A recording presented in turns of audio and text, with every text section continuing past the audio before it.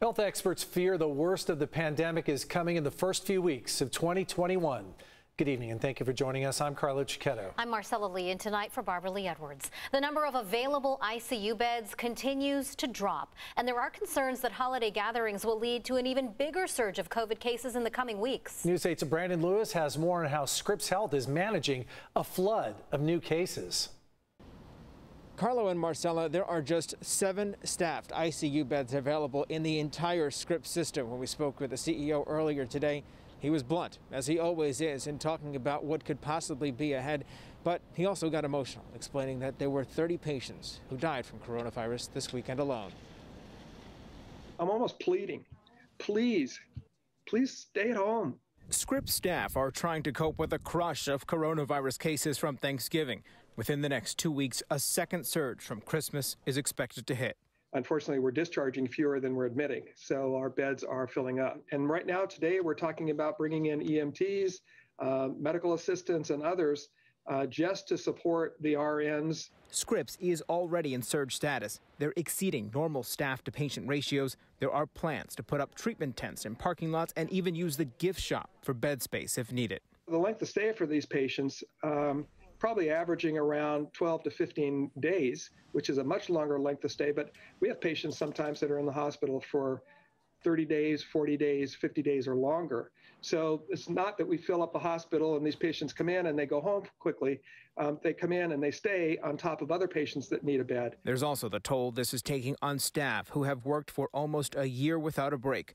This weekend, they cared for patients who celebrated their last Christmas without family by their side. We probably had more than 30 patients die over this last weekend. You know, and our our nurses, our doctors are their family members. You know, and so they're not only caring for them, they're caring for them emotionally, and they're caring for their families outside of the hospital. This is a really serious issue, um, and we're tired, and we need and we need our our community support. The governor says it is likely we will see the stay at home order extended when it's reassessed tomorrow. He also says these capacity concerns at hospitals could continue through February. Carlo and Marcella,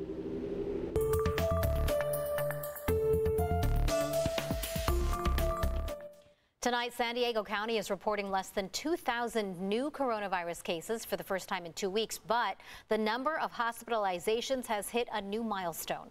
1,751 new positive cases were reported today out of just under 19,000 tests. That makes for a positive rate of about 9 percent. 68 more people were hospitalized with COVID 19, pushing total hospitalizations above 1,500 for the first time. 14 of those were admitted into intensive care units. The county is also reporting two additional deaths. Don't put your umbrellas away just yet. And if you're heading east, make sure to carry some chains in your car. You probably heard it. That storm has moved in, bringing rain to our coast and inland areas and snow up to our local mountains. Tonight, a winter storm warning is in effect. Meteorologist Carlene Chavis is tracking the storm, and we'll have more on that in just a moment. First, let's go to Sean Stiles, who starts our coverage tonight from Mount Laguna. While it was all rain in the valleys, it was snow here in the mountains and plenty of it. The storm brought snow to the mountains, which meant road restrictions, chains required if you were heading up Sunrise Highway. An hour away, it's totally different. At elevation, there was plenty of snow, at least two to four inches in the Laguna Play area. The snowplow was out, keeping the roads clear so families could play in the snow. First family we met were the Mendozas out of National City. Here's Karina. A lot of snow. Um, we're gonna actually make snowmans right now. Yeah? Yes. Are you surprised that there's this much? Yes, I've never seen snow in real life, you know, so it's fun. This is your first time? Yes. Wow. you hit the jackpot. I know. While the Mendozas were having fun on the intermediate hill, over on the advanced hill, well, there was some transplants from Chicago. Ringers, I might say, the Zizerson family, cousin Sam. That's what I told him. He's like, we're gonna go see the snow. I was like, I came to San Diego from Chicago to see snow. But these guys know their sledding. Blast off! While the Zizersons ruled the advanced hill, plenty of folks were out having fun. Families, though, were playing by COVID rules while around others in Mother Nature. And while the snow continued to fly, it was hard to believe this was only just over an hour outside of downtown San Diego, a winter wonderland in sunny Southern California. Well, it's the usual rules when you come to the mountain. Take out what you brought in. Remember, if you're going to come up here, be prepared for the cold and have change. And the other thing in this COVID period, Frosty and I, social distancing six feet apart. Who that snowman? Oh man, that's cute. All right, your forecast. Well, we are definitely talking about some rain as well as some snow. Sean got the good assignment. He was out there in Mount Laguna just enjoying a white winter wonderland. I'm Chief Meteorologist Carlene Chavis. As we go into tonight, we are still holding on to shower chances. Now for downtown, it is cloudy, 59 degrees current temperature. We also have winds out of the south-southwest at 11 miles per hour. But taking a look at that live radar, we're not done just yet. We have more shower activity on the way. So we are still seeing some showers and a line of them that are starting to move in right towards downtown as well as Del Mar, stretching all the way to Oceanside, Fallbrook, heavier pockets of rainfall and even more that is offshore that's going to move in. So we are not done just yet. And as I mentioned, we're going to talk about shower activity into the overnight hours as well as more mountain snow. And that uh, winter storm warning still going until tomorrow morning at 4 a.m. Also, big waves along the coast. They're going to stick around into the middle of the week and we will dry out as soon as tomorrow afternoon but we're not going to drastically warm up. So we'll go ahead and take a look at that eight day coming up. Carlo, Marcella. All right, enjoying a taste of winter finally. Yes. Last night, President Trump signed the COVID relief package and demanded Congress more than triple the amount of direct relief payments to Americans. Tonight, the House delivered. But the measure faces an uphill climb in the Republican controlled Senate, setting up a fight between President Trump and his own party. Skyler Henry explains. The bill is passed. The House approved a bill to increase direct stimulus payments from $600 to $2,000, one day after President Trump finally signed the COVID relief bill into law. Putting money into the hands of the American people is a boost to our economy. I worry that this whopping $463 billion won't do what's needed. The president's sudden shift on the bill brings relief to many financially strapped Americans, but his delay resulted in a one week lapse in unemployment benefits for more than 14 million recipients. The yeas are 322. The nays are 87. House lawmakers voted to override the president's veto of the critical defense bill that funds the U.S. military. If the Senate also votes to override Tuesday, it'll be the first veto override of Mr. Trump's presidency. Senate Republicans have not committed to bringing up a vote on increased stimulus payments. Senate Democrats are calling on President Trump to persuade them. These Senate Republicans have followed you through thick and thin. Get them now to act and support the $2,000 checks. President Trump played another round of golf Monday in South Florida. You support the $2,000 payment, sir? Yes. President elect Joe Biden and Vice President elect Kamala Harris met virtually with members of his national security and foreign policy teams in Delaware. We just aren't getting all the information that we need for the ongoing, outgoing, from the outgoing administration in key national security areas. It's nothing short, in my view, of irresponsibility.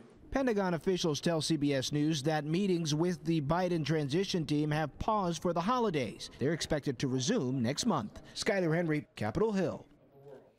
The Biden transition officials say Vice President elect Kamala Harris and her husband Doug Emhoff will receive their first doses of the COVID vaccine tomorrow.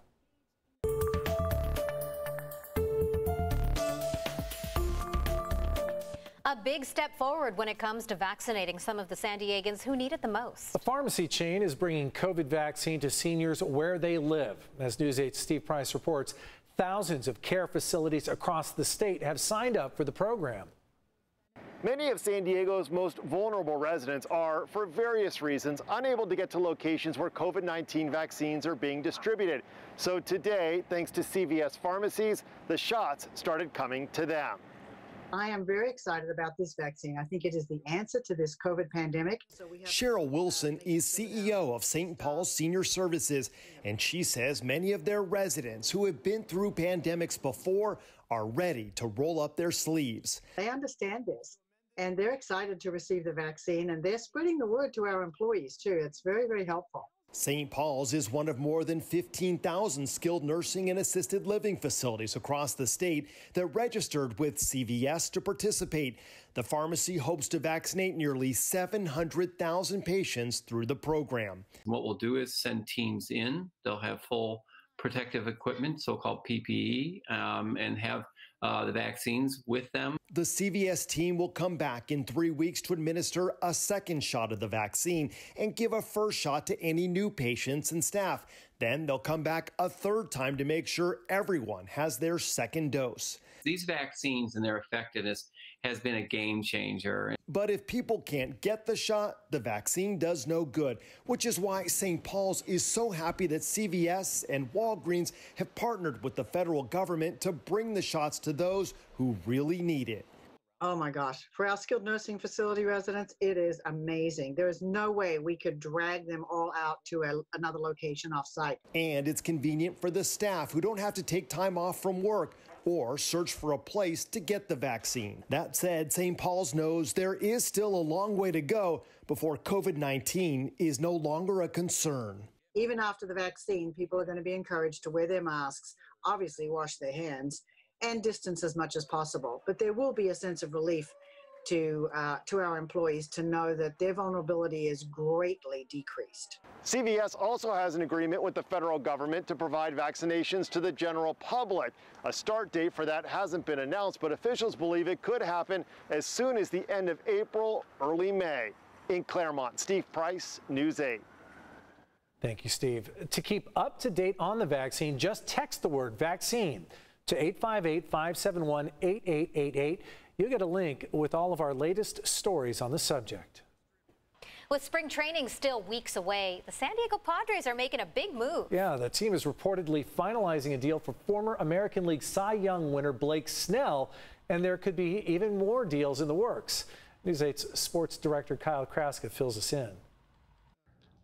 Padres general manager A.J. Preller has been on a mission since the baseball season ended two months ago to significantly improve his starting rotation, and he is doing exactly that as the new year approaches with two blockbuster deals.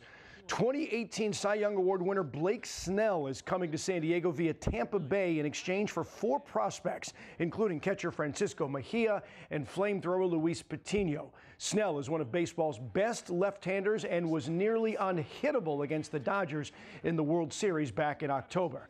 And if that's not enough, Preller is also putting the finishing touches on a deal with the Cubs to potentially acquire right-hander Yu Darvish, who's coming off one of his best seasons at the age of 34. He was 8 and 3 with a 2.01 earned run average, and he was second in the NL Cy Young Award voting.